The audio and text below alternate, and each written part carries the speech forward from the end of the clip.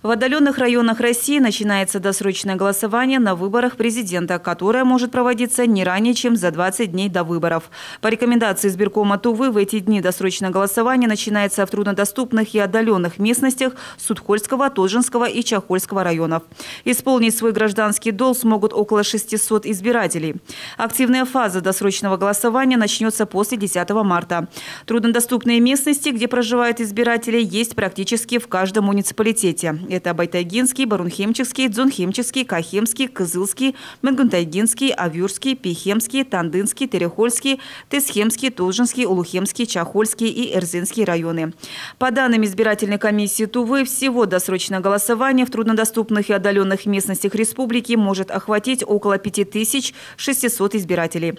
Это работники вахтового метода, чабаны, оленеводы, работники охотхозяйств, золотодобытчики, военные и так далее. В этот период из используются переносные опломбированные ящики для голосования. По окончании досрочного голосования ящики опечатываются и открываются только при подсчете голосов на соответствующем участке по завершении дня выборов.